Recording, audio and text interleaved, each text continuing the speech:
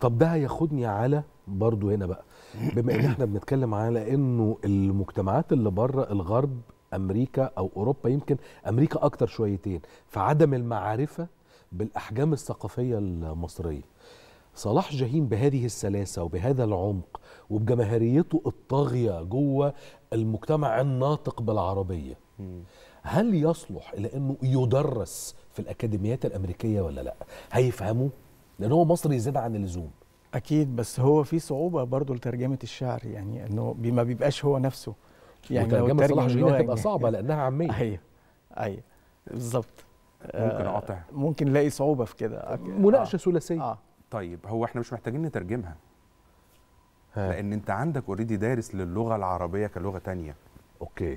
واخد بال حضرتك؟ آه. تخيل هل مثلا سمعت عن إن في باحث أمريكي عمل كنت لسه بقول لأستاذ محمد عمل دكتوراه في شعر زكريا الحجاوي مم.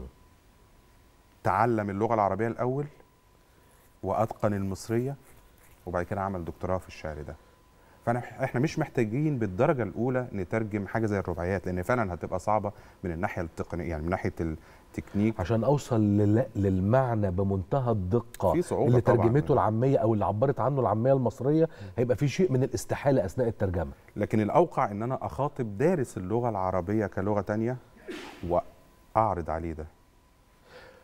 أهم 20 جامعة في أمريكا كلهم دون استثناء عندهم تخصصات متعلقة بأدب إما يسموه أدب شمال إفريقيا أو أدب الشرق المتوسط صحيح. أو أدب يعني أهم 20 جامعة كده من أو أول برامج هارفارد لغة عربية لحد. مثلا UCLA يعني صحيح، كلهم صحيح. عندهم هذا التخصص صحيح. طيب